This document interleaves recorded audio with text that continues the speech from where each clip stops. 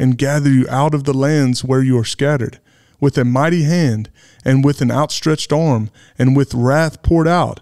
And I shall bring you into the wilderness of the peoples, and shall enter into judgment with you face to face there.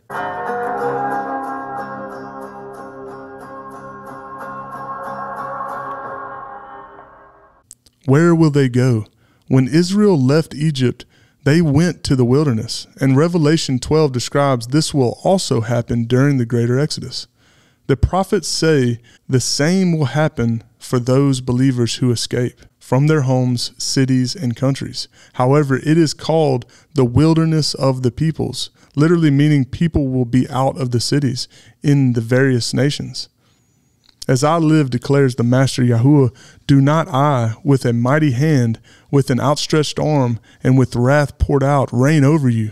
And I shall bring you out from the peoples, and gather you out of the lands where you are scattered, with a mighty hand, and with an outstretched arm, and with wrath poured out.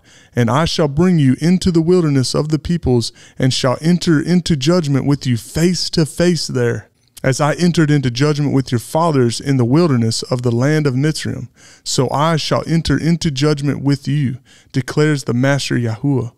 And I shall make you pass under the rod, and shall bring you into the bond of the covenant, and purge the rebels from among you, and those who transgress against me from the land where they sojourn, I bring them out. But they shall not come into the land of Israel and you shall know that I am Yahuwah. Ezekiel 20, 33 through 38. This is one of the most dramatic and explicit descriptions of the greater Exodus, using the very language that Yahuwah used in bringing the children of Israel out of Egypt. Yahuwah directly compares the greater Exodus, the wilderness of the peoples, to the Exodus, speaking of his judgment upon the world, rendering judgment upon those in camp who will rebel as he did with Korah, Dathan, and Abiram in Numbers 16 of the Exodus. Even Yahuwah's purpose remains the same for the greater Exodus as with the Exodus. And you shall know that I am Yahuwah.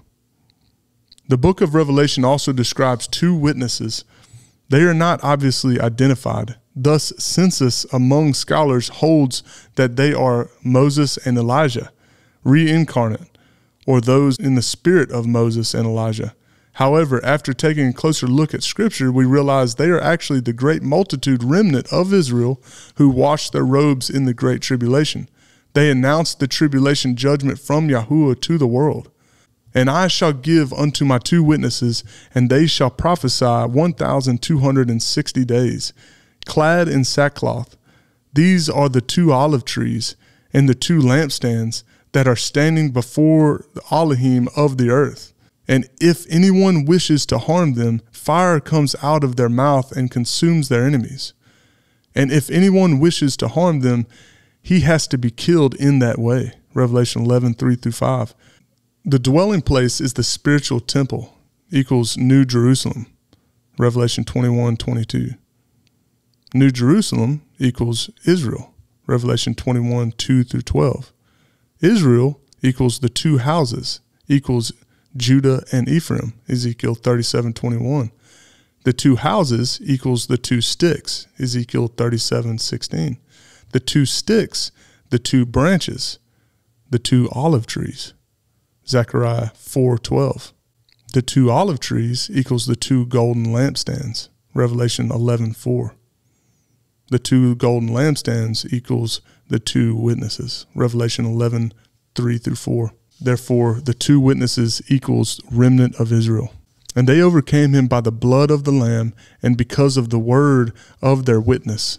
And they did not love their lives to their death. Revelation 12, 11. Therefore, we must be prepared to follow the Lamb wherever he leads and receive the great seal of his name on our foreheads to protect us through the first half of the coming tribulation period but be ever prepared to go out of the place of safety to rebuke the enemy and the beast system, knowing many of Israel may be martyred and cling to the faith even unto death with the expectation of the resurrection of the first fruits.